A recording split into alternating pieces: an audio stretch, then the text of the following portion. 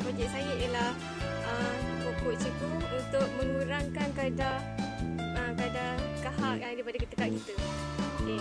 Berdasarkan yang kita boleh lihat uh, pada rajah kat sini, uh, jadi kita menggunakan tepung uh, sebagai pengganti kahak yang sebenar.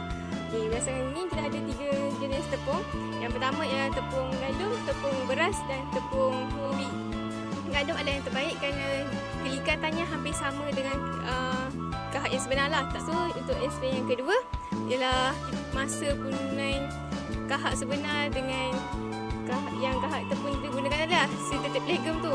Nak tengok kuantiti air berapa yang kita perlu campurkan dengan tepung tu untuk jadikan sama speed dia dengan kahak yang sebenar.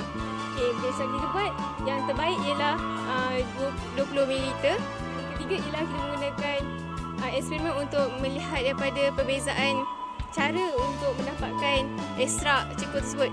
Yang pertama kita gunakan cara filtration iaitu uh, guna kertas turas tapi uh, ia agak lambat. Saya telah menggunakan uh, cara pengemparan guna mesin pengempar. Saya melakukan uji kaji di masa sekolah.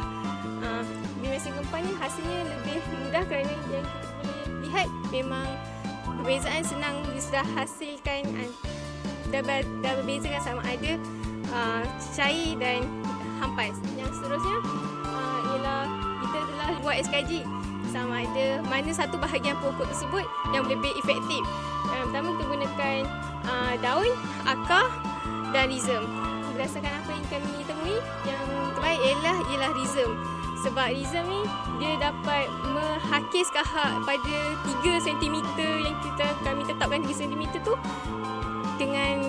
lebih banyak lah dia, dia dan nampaklah rekahan-rekahannya. Okay, yang seterusnya kami, saya juga telah membuat eksperimen dengan herba-herba yang lain uh, seperti cengkeh, serai dan halia. Uh, uh, kesannya lain baik ialah cukup Ini saya pernah masuk uh, Festival Sains Teknologi Dekat Negeri dan saya nyumpuli Anugerah Perak.